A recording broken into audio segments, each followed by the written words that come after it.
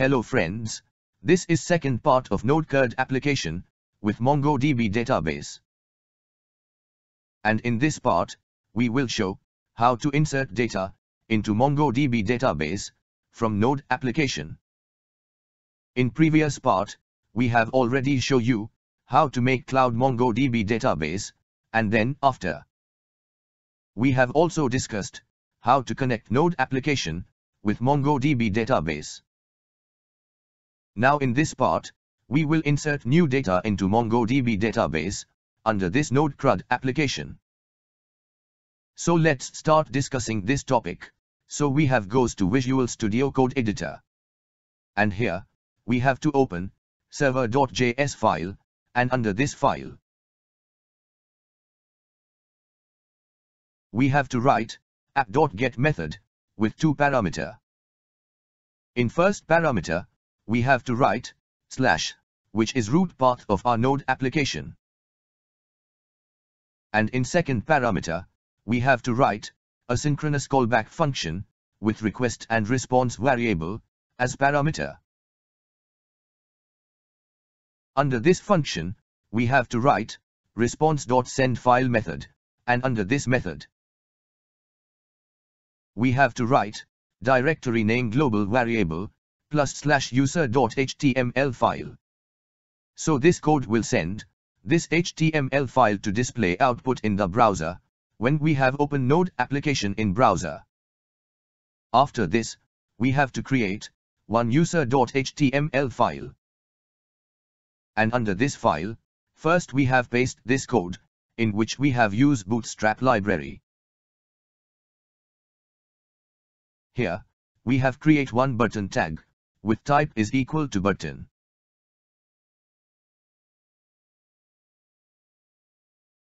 And in button text, we have to write add, so when we have click on this button, then modal must be pop up, for enter user data.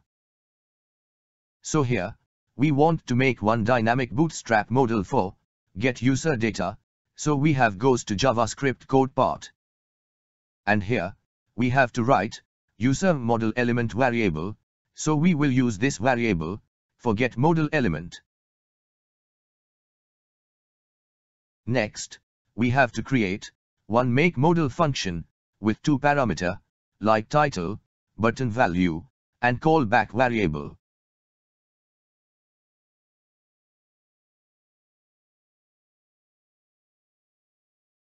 Under this function, we have to write, HTML variable is equal to this bootstrap library modal code.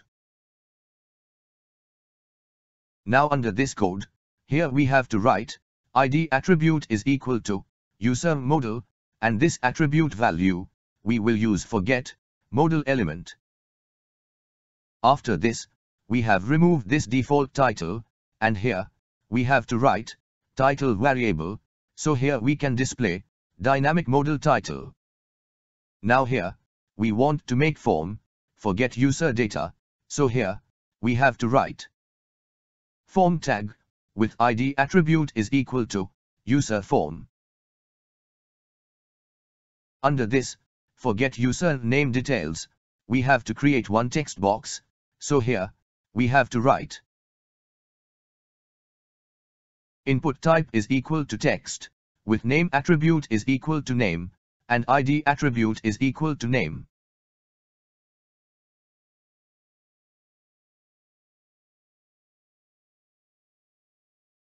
After this, forget user email address details, so we have to create another input field, so we have to write input type is equal to email, with name attribute is equal to email and id attribute is equal to email.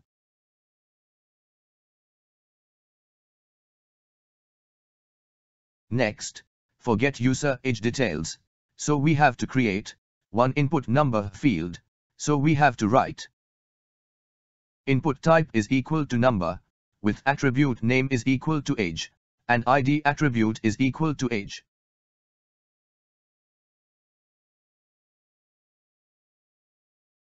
Now we have goes to modal footer code, and here in button text, we have to write button value variable.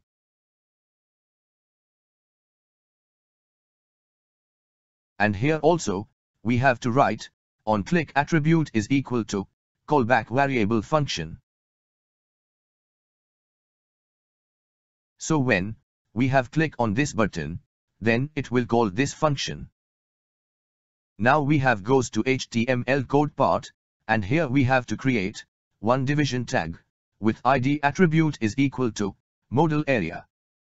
So under this tag, we will append bootstrap modal code, so now we have goes to JavaScript code.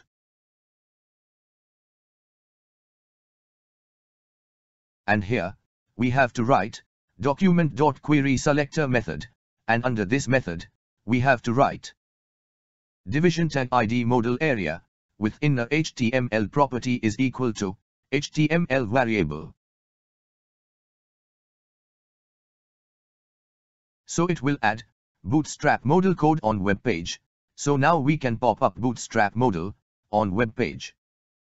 So here we have to write, user modal element variable is equal to, new bootstrap.modal method, and under this method, we have to write, document.getElement by id method, and under this, we have to write, bootstrap modal id, user modal. So this code will get the modal element, now we want to pop up, bootstrap modal on web page. So here, we have to write, user modal element dot show method, so it will pop up, bootstrap modal on web page.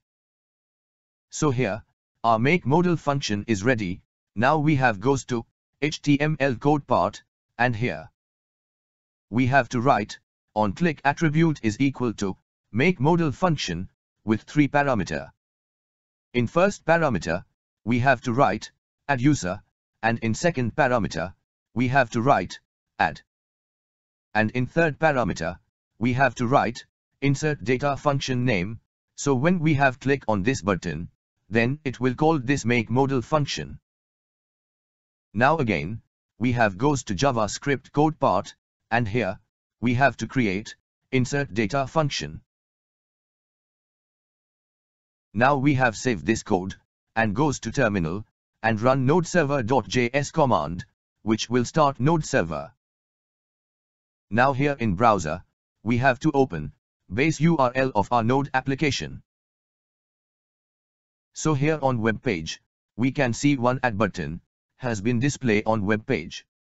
So we have click on this button, so after click on this button, here we can see that one modal dialog box has been pop up on web page with form for get user details. Now we want to submit this form data by using JavaScript fetch API. So here, we have goes to insert data function, and under this function, we have to write form element variable is equal to document.getElement by id method, and under this, we have to write form id user form.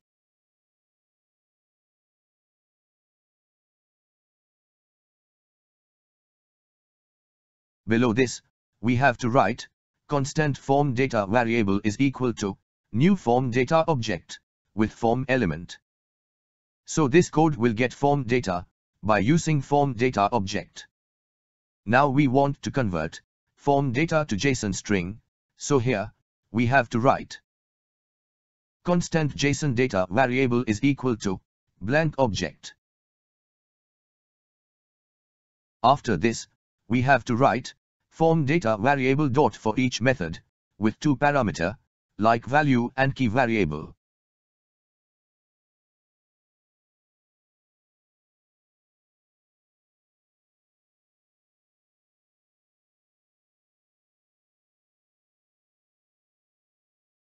Under this function, we have to write JSON data variable with key index is equal to value variable.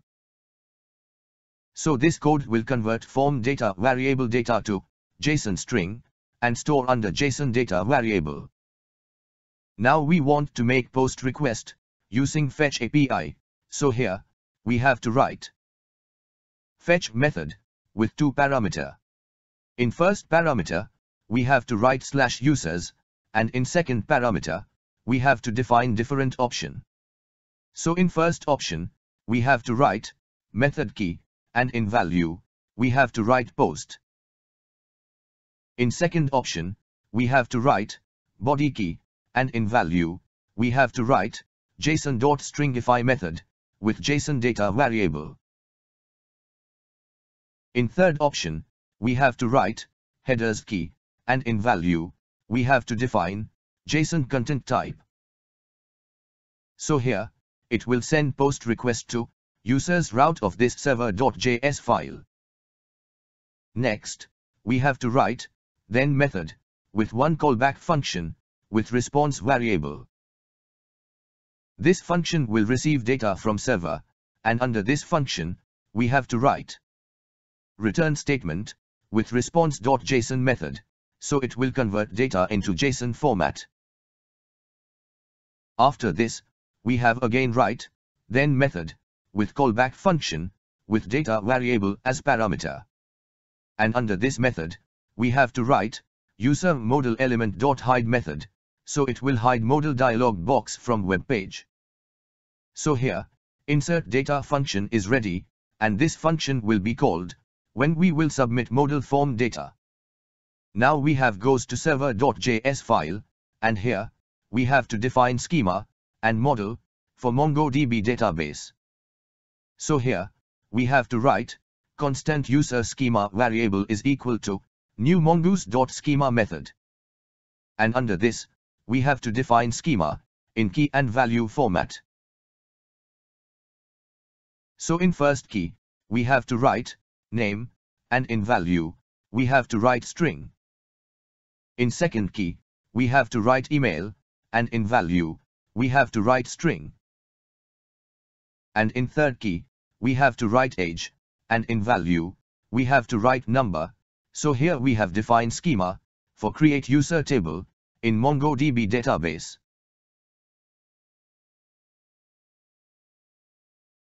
Now we want to create model, for database operation.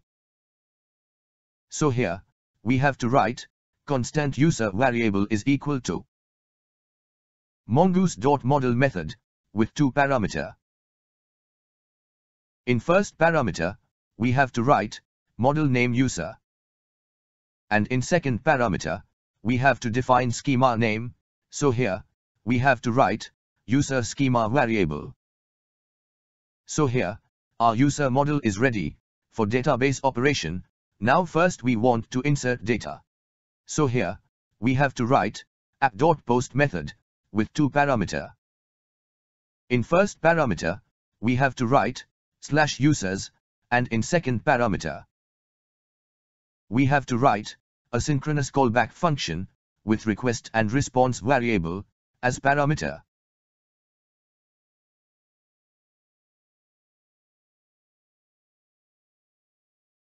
Under this function, we have to write, constant user variable is equal to, new user model. Under this model, we have to define data in key and value format. So in first key, we have to write name, and in value, we have to write request.body.name. In second key, we have to write email, and in value, we have to write request.body.email. In third key, we have to write age, and in value, we have to write request.body.age. After define data in user model, now for insert data into user schema. So here we have to write constant new item variable is equal to await keyword with user.save method, so it will insert data into user schema. Now for send success status to client, so here, we have to write response.status method with 201 code. And then after, we have to write success key with true as value, so it will send data to client. So it will insert data into user table, and now for check output, so we have goes to terminal. And here, we have to run this command, which will start node server.